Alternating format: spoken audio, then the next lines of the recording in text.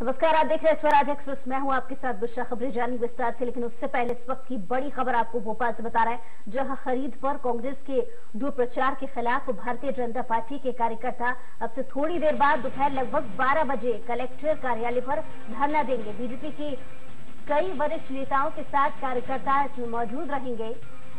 तो बड़ी खबर इस वक्त आपको बता रही है भोपाल से।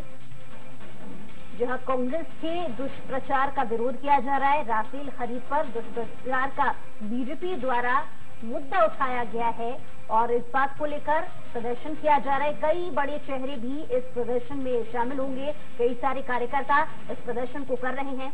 राफेल खरीद पर दुष्प्रचार का बीजेपी आरोप लगा रही है कांग्रेस पर कि आखिर क्यों दुष्प्रचार किया गया इस मामले पर, जबकि कोर्ट ने फैसला पक्ष में सुनाया है, कोर्ट ने फैसला सुनाया है, जिसमें किसी तरीके की गड़बड़ी नहीं बताई है, जिसको लेकर दुष्प्रचार करने को लेकर बीजेपी आज प्रदर्शन कर रही है।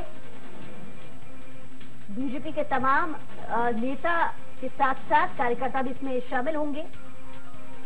ज़्यादा जानकारी के साथ थोड़ा सा विवेक शर्मा फ़ोन लाइन पे जुड़ गए हैं। विवेक, क्या आपको जानकारी मिल रही है? कितनी संख्या में प्रदर्शनकारी पहुँचेंगे? नेता कौन कौन पहुँच रहा है प्रदर्शन में?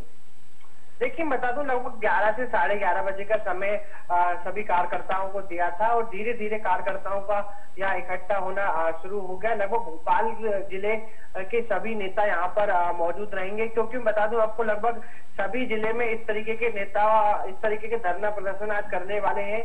ज़िले वाइज कलेक्टेड इंदौर की बात करें इंदौर में भी है और वही भोपाल राजधानी के चलते यहाँ पर भी कलेक्ट्रेट कार्यालय में आज बीजेपी के बड़ी संख्या में यहाँ कार्यकर्ता इकट्ठे होंगे और धरना प्रदर्शन करेंगे।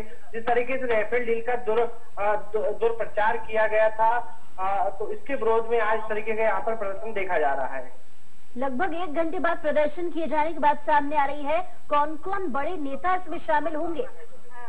जी, बिल्कुल हम बता दें कि भोपाल के लगभग जो विधायक बने हैं और जिस तरीके से सरकार अभी कांग्रेस की बनी है तो कह सकते हैं कि पहली बार इस तरीके का आंदोलन आज राजधानी भोपाल में देखा जाएगा। तो यहाँ पर जिला अध्यक्ष भी रहेंगे और ग्रामीण क्षेत्र के भी जो कार्यकर्ता है वो भी यहाँ पर मौजूद रहने वाले चलिए, शुक्रिया तमाम जानकारी के लिए विवेक।